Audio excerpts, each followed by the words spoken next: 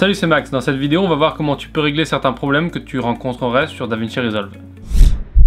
J'ai décidé de faire cette vidéo parce qu'il y a déjà pas mal de commentaires de gens qui me disent que ça marche pas et l'objectif c'est que ça marche pour vous, sinon les tutos ne servent à rien. Donc bim, petite vidéo pour régler les problèmes. Alors maintenant faut quand même mettre un truc au clair, euh, c'est pas parce que ça ne marche pas que c'est la faute de DaVinci, d'ailleurs c'est quasiment jamais la faute de DaVinci, c'est soit euh, le matériel, soit l'utilisateur. Genre euh, si rien n'est à jour sur ton ordi et que ton ordi est très très vieux, peut-être qu'ils supportent pas DaVinci. Donc l'idée c'est que dans cette vidéo on voit les trois plus gros problèmes qui ont été rencontrés et comme ça après vous pourrez monter tranquillement, qui est l'objectif principal quand même. Donc du coup tout de suite on voit les trois plus gros problèmes qui ont été rencontrés et qui ont des solutions, c'est parti. Problème numéro 1, DaVinci au démarrage t'affiche ça.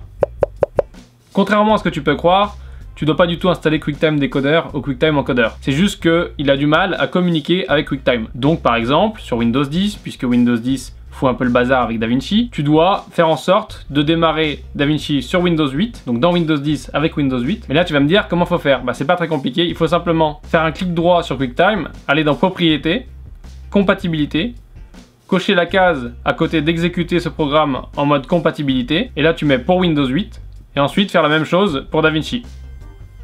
Et normalement, euh, t'as pas de problème. Tu peux aussi trouver cette solution dans les commentaires, c'est Gush qui l'a publié. Merci Gush. Problème numéro 2, DaVinci ne reconnaît pas tes images, il ne veut pas les voir, enfin il te laisse pas les importer quoi. Donc ça c'est un problème de codec, ça veut dire qu'en gros DaVinci il reconnaît pas le codec de tes images, ça peut arriver.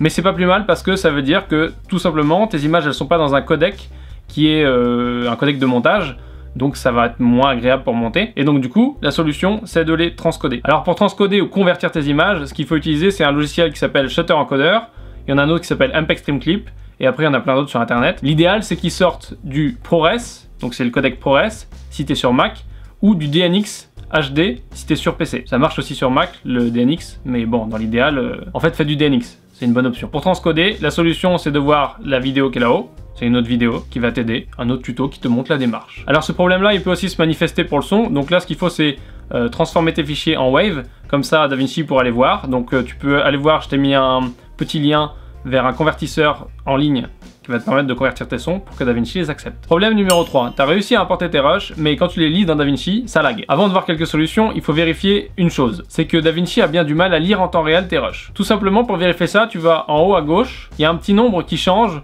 au fur et à mesure de la lecture. Si tes rushs sont en 24 images par seconde ou en 25 images par seconde et que ce nombre-là reste vert et reste à peu près constant, ça veut dire que la lecture se fait bien en temps réel. Alors si la lecture se fait pas en temps réel, ton problème il peut venir des trois choses suivantes. Enfin l'une des trois quoi. Parce que les trois ensemble, c'est chaud quand même. Solution 1. Tes rushs sont pas optimisés au format de montage, donc ils sont ni en ProRes ni en DNX, et donc ton ordinateur a du mal à les lire. À ce moment-là, ce que tu peux faire, c'est soit faire des médias optimisés avec DaVinci Resolve directement dans DaVinci, ou alors tu peux les transcoder, comme le problème numéro 2. Encore une fois, pour t'aider, tu peux aller voir cette vidéo, et il y a aussi la vidéo des médias optimisés dans DaVinci. Tu remarques que c'est un peu le même problème que le numéro 2, quand même. Encore du transcode, toujours la même chose. Solution numéro 2. Tu as transcodé tes rushs, mais tu as choisi un codec trop lourd, par exemple du DNX 120, alors que du DNX 36 pourrait suffire, puisque le DNX 120 est plus lourd parce que moins compressé, et le DNX 36 est moins lourd, et donc ton ordinateur, ça lui demande trop de travail. Donc à ce moment-là, il faut choisir un codec moins lourd, et là, tu auras moins de problèmes, en théorie. Si ton problème vient de là. Solution numéro 3, le nombre d'images par seconde de tes rushs, de tes images, ne matche pas celui du projet. Donc par exemple, tu peux avoir des images qui sont en 60 images par seconde, et tu as réglé ton projet en 25. Pour régler ce problème-là, c'est un peu plus compliqué, donc du coup j'ai fait une autre vidéo, encore une fois, que tu vas pouvoir voir, où je t'explique dedans comment régler ce problème-là, et comment tout simplement démarrer un projet avec le bon nombre d'images par seconde, et même quand tu as plusieurs images euh, différentes, par exemple tu as une GoPro à 60 images par seconde et un appareil à 25 images par seconde, comment faire matcher ça? C'est pas encore terrible, mais ça marche. Bon, tu vois que cette vidéo elle est succincte, euh, c'est tout simplement un petit peu une vidéo qui va permettre de t'orienter vers les bonnes vidéos et je t'explique un peu ce que c'est le souci. Euh, maintenant, si malgré tout tu n'arrives pas à régler ton souci, je pense que la meilleure solution c'est de pas s'acharner, de trouver un logiciel qui toi te va euh, à la place de DaVinci parce que l'objectif c'est quand même de pouvoir travailler et de pas être bloqué par le logiciel. De manière générale, quand tu crées des vidéos ou quoi que ce soit, plus tu es bloqué par la technologie ou plus tu es bloqué par le logiciel ou par le matériel qui te permet de faire ces vidéos, moins c'est avantageux. Donc l'objectif restera toujours de pouvoir faire les choses en temps et en heure, et comme tu le souhaites, et donc euh, d'avoir le matos qui te permet de faire ça. Donc le meilleur matos et le meilleur logiciel, c'est pas celui que je conseille, c'est euh, celui qui te permet de faire les choses. Voilà, ça c'est important. Avant de finir cette vidéo, petite note, si tu as un problème, tu peux mettre un commentaire et me demander une solution.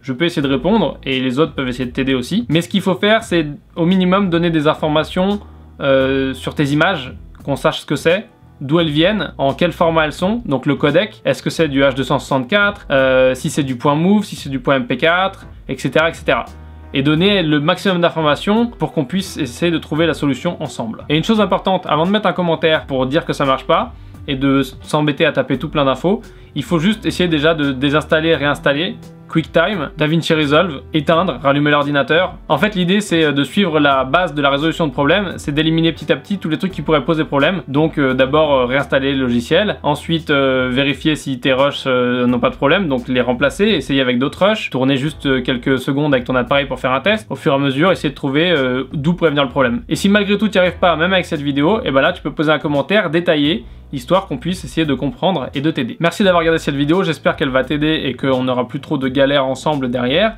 et que du coup tu pourras apprendre avec les tutos et te servir de ça plutôt que de galérer avec DaVinci. N'hésite pas à commenter pour me dire si cette vidéo euh, a eu un intérêt quelconque et si tu es un bon samaritain et que tu m'aider dans la résonance, non. Et si tu es un bon samaritain et que tu m'aider dans la résolution des problèmes de ceux qui regardent cette chaîne, et eh ben quand tu vois quelqu'un qui galère, tu peux l'aider euh, avec moi, tout sans cœur et peut-être, s'il n'a pas vu cette vidéo, lui mettre le lien de cette vidéo. Voilà. Tout ça dans la joie et la bonne humeur. Merci beaucoup d'avoir regardé cette vidéo, à plus.